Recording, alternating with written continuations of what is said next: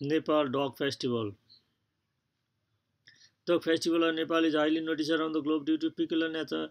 Dog Festival is celebrated the second day of Nepal's second popular festival, Koinai Tihar. Nepali Tihar is synonymous to Diwali of India. Nepali Tihar is celebrated in five days.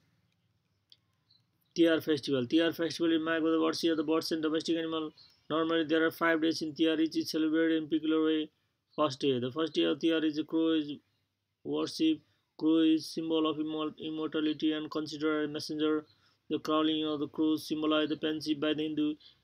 The offering is basically to avoid the sorrow. Second day. The second day of the year marks the dog festival. Dogs are offered with the delicious vegetarian food. Garlands are well treated in this day. Third day. The third day of the year is marked by the worship of the cow. Cow is believed to be Hindu goddess Lakshmi. Being in improvised society, the cow has a vital significance in human life.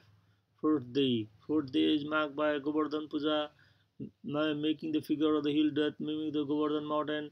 This is accomplished by worship of oxen. Fifth day. Fifth day the Tihar is marked by the offering to Tika.